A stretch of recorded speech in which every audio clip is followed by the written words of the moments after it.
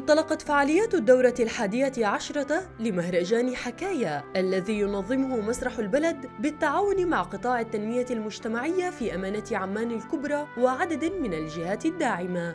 وفتح البؤجة وأكل اللي فيه النصيب ومد حاله بده يرتاح. هو عمال بيرفع سمع صوت جاي من بعيد. بس ما عرفش إذا هذا الصوت حقيقة ولا حلم. وعلى هذا الصوت غفي ظريف الطول. ونام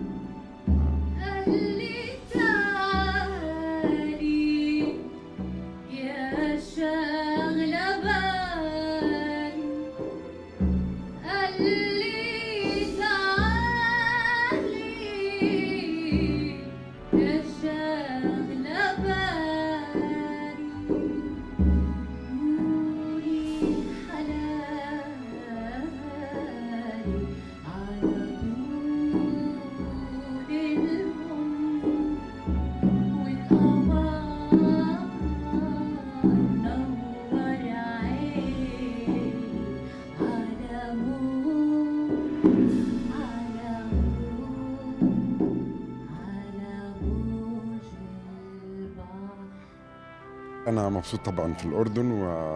ودي مش أول مرة أجي فيها أنا كنت باجي في مهرجانات مسرح كتير و... ومؤخرا في مهرجانات بتاعت رائد عصفور حكاية الحكي تطور جدا في الأردن وبقى متنوع وبقى فيه حكائين كتير. ومش الحكائين بس اللي كتروا الجمهور كمان الأردني بقى يستقبل الحكي بشكل مختلف. وأنا رأيي إن الحكي مهم جدا لل- للممثل بشكل عام. الحكي هو اللي يعني ساعدني كتير على إني أكون ممثل كويس لأن هو تدريب أساسي للممثل. فدي فرصة جيدة إن حتى الأطفال النهارده كمان سمعوا حكاية كتير.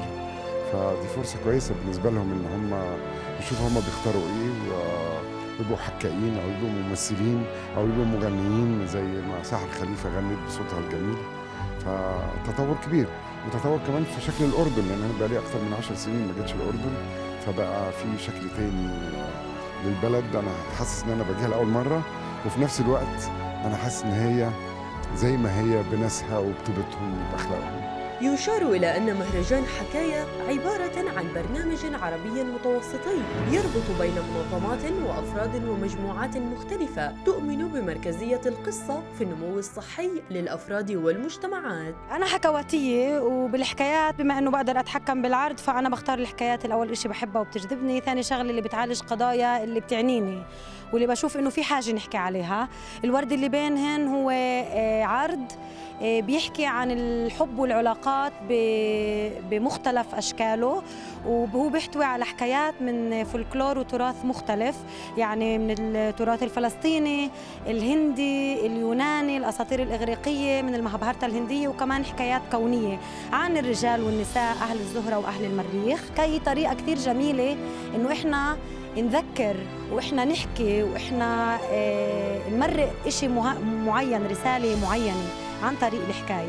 وظريف الطول ما نسي سرايا.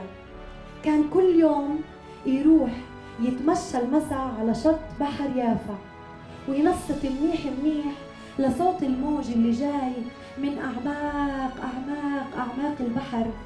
وهو جايب له صوت سرايا عم بتغني له.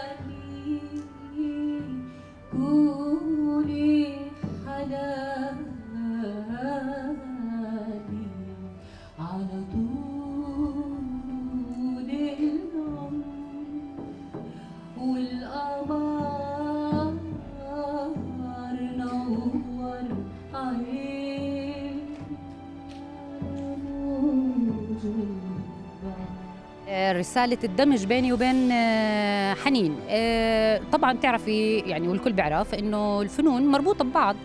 الحكايات فيها أصوات فيها مؤثرات صوتية فيها موسيقى فيها أغاني فيها فيها فن فيها فنون كثيره فالموسيقى هو جزء من ال من ال الأدوات والفنون اللي بتخدم القصة وبتوظفها وبتأدي دور لا بأس به. وأساسي بالحكاية بسرد الحكاية وبحكاية وبروايتها يعمل المشروع على نسج شبكة الحكواتيين التي تعطي أعضائها فرصة التواصل والاتصال مع أفراد ومؤسسات وبرامج تعنى بالحكي في الوطن العربي والعالم. ألا أبو حمدة رؤيا